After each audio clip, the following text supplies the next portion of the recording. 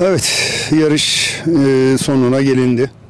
Açıkçası ben son zamanlarda küme düşme müsabakalarının bu kadar e, son haftaya e, girdiğini görmemiştim. Çok hatalar oldu. Herkes çok hata yaptı.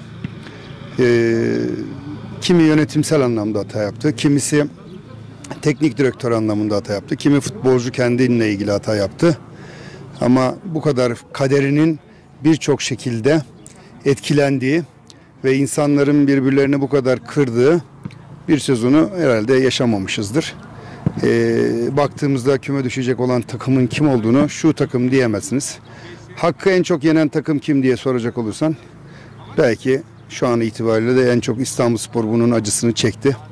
Ee, ve bugün de biz onlarla e, maça gideceğiz. Onun dışında e, öyle bir zaman geldi ki e, birçok penaltı dediğimiz penaltı olmadı. E, foul dediğimiz foul olmadı. Avut dediğimiz başka korner oldu. E, penaltı beklediğimiz penaltı verilmedi. Yani böyle bir lig yaşadık. Değişmesi gerekenler değişmedi. Sistemler değişmedi. Ve e, yapılması gereken projeler hiçbir zaman hayata geçmedi. Yıllardan beri proje söylüyorum. Proje anlatıyorum. Projelerin olması için mücadele ediyorum. Çünkü benim derdim Türk sporunun, Türk gençlerinin e, Türk futbolunda çok daha etkin olmaları ve bir yerlere gelmeleri. Hakemler için de profesyonelce yönetilmeleriyle alakalı çok kez projeler söyledim. Dinlemesi gerekenler dinlemiyor. Danışmanlar ne danışıyoruz, ne danışabiliriz düşünüyorum. Herhalde inşaatla ilgili, tekstille ilgili bunlarla ilgili danışmanlık yapabiliriz. Danışabiliriz. Arayıp da soruyoruz zaten hangi tişörtü alalım diye. Çünkü danışman. Danışmamız lazım. Biz de danışmıyoruz o yüzden de. Velhasıl bu kadar e, Türk futbolunda Türk gençlerin geleceğine, takımların kaderlerine etki eden bir süreç yaşamadık.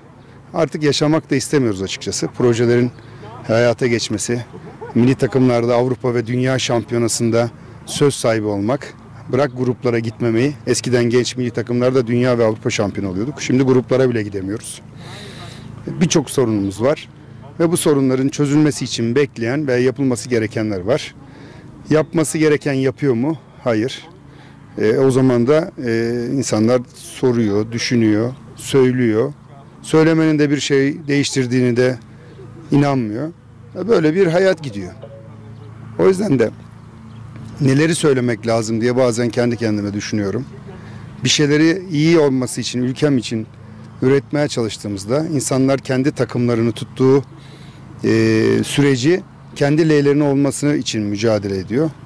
Biz de hakkaniyetli, adil, adaletli, Türk sporunun ve Türk gençlerinin daha iyi olabilmesi adına elimizden geldiği kadar söylemlerle desteklemeye çalışıyoruz. İnşallah bu lig hayırlısıyla, günahıyla, sevabıyla iki hafta sonra bitiyor. Herkese hayırlı uğurlu olsun. Düşenler düştüğünde bir an önce çıksın. Şampiyon kim oluyorsa tebrik ediyoruz. Bununla beraber tekrar lige gelen Göztepe'mizi ve Eyüp Spor'umuzu tebrik ediyoruz. Onlara da hayırlı uğurlu olsun. Bu demektir ki gelecek olanlardan da aşağıdan Sakarya, Çorum, e, Kocaeli ve Bodrum gibi takımlarımızdan da halisiyle hak edenin çıktığı ama seneye ligin çok daha zor, çetin, meşakkatli olacağı da aşikar bir lig bizi bekliyor. E, kendi takımımızla ilgili planlamamız devam ediyor. Takımımızda şu anda 27 futbolcunun sadece 7'sinin sözleşmesi devam ediyor. 20 futbolcumuzun sözleşmesinin e, bittiği bir ortamdayız. Bununla beraber yepyeni bir planlamaya transfer komitesi başkanı olarak Gökhan Karagöl ve squad ekipleri çalışıyor. Yeni sezonda hayal ettiklerini, hayal ettiklerimizi başaracak bir kadroyu inşallah hep beraber kurarız.